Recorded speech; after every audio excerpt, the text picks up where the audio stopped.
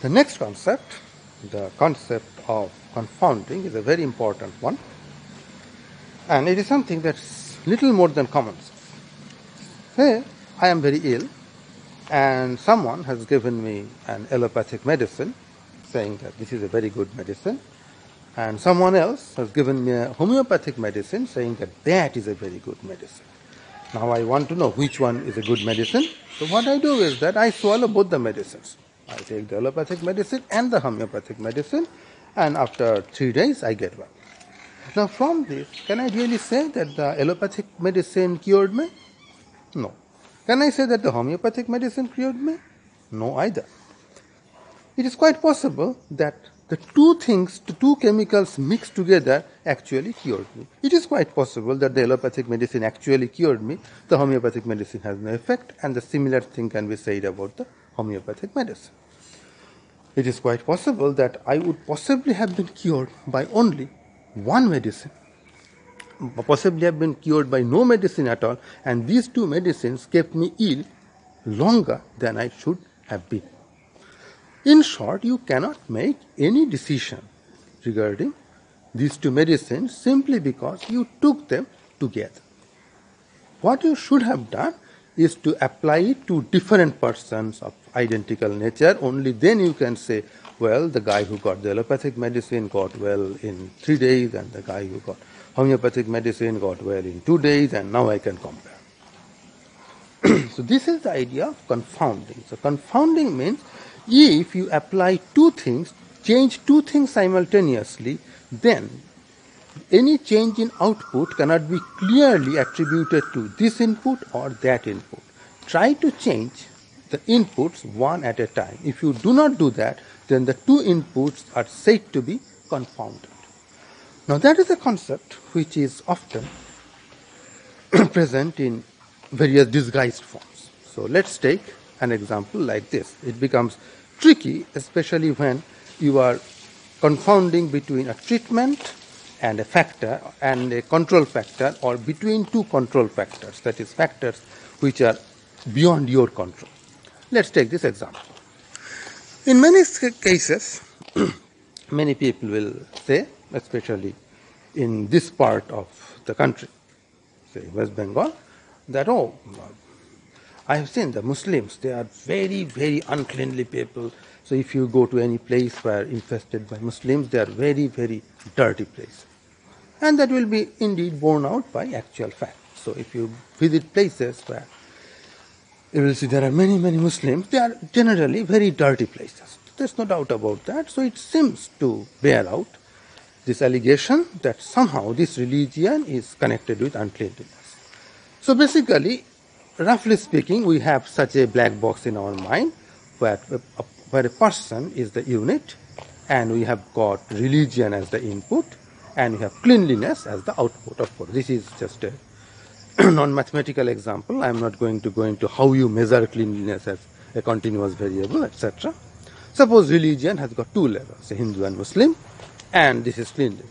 And if you just go about, say, various parts of Kolkata, various parts of West Bengal, you will really see that this Hindu-Muslim thing, that generally the Muslim infested parts are very uncleanly and the Hindu infested parts are generally cleaner than that. However, if you look carefully, you will see that there is yet another factor which is playing a role, and that thing is the educational level. Now, the most of the Muslims that you see in and around Kolkata, they also happen to be of the poorer class and low education group class, because as it so happens in this part of the country, only the very poor people are generally Muslims. So the Muslims are generally poor people. They cannot afford good education. As a result, when you are looking at a general Muslim, so to speak, most of them, you are looking at people with low educational level. So it is quite possible that the uncleanliness that you see is because of low educational level. Whereas when you look at a a bulk population of Hindus, there are low education people as well as higher education people. So the difference that you see has nothing to do possibly with religion. It can be explained using the difference in educational levels. In this case, these two factors are basically confounded when you just do an observational study, just like social study. You observe whatever you get to observe. In that case, you will see that whenever religion becomes from Hindu to Muslim, the educational level also generally falls. So it is basically like this. Say I take three educational levels, I call them low, medium and high, and Hindu and Muslim. So I have got six cells. So I can draw a meaningful conclusion only when I know all these six cells are nicely represented. but if you just go about this part of the country and observe whatever you can observe, in that case you will see that typically only the purple boxes are represented in your sample. So you have only low income group, uh, sorry, low education level Muslims and medium level and high level Hindus. So the bulk comes from this group. So you see the moment the religion changes, so does the education. So you have really not looked at all the cells. So you are basically comparing a low education Muslim with a high education Hindu and trying to say whatever difference you see is because of the religion. That will, will not be fair. So from this, you cannot really conclude anything. That's my point. I'm not saying you can conclude either for Hindu, against Hindu, for Muslim, against Muslim.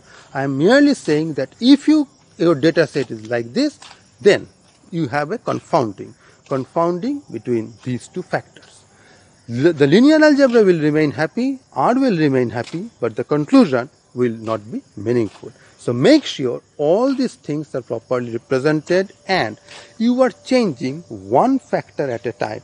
If I have some observation here, Hindu and low income group, then you can compare the cleanliness of these two cells to get an idea about the difference between Hindu and Muslim. But here, there is nothing in this cell. So you are comparing this cell with that cell which means you are basically changing both the religion as well as the educational level and you do not know that the change that you see is because of this or that or because of simultaneous presence of both the changes. You have no way of knowing it. That is called confounding and it is a good idea to try to avoid that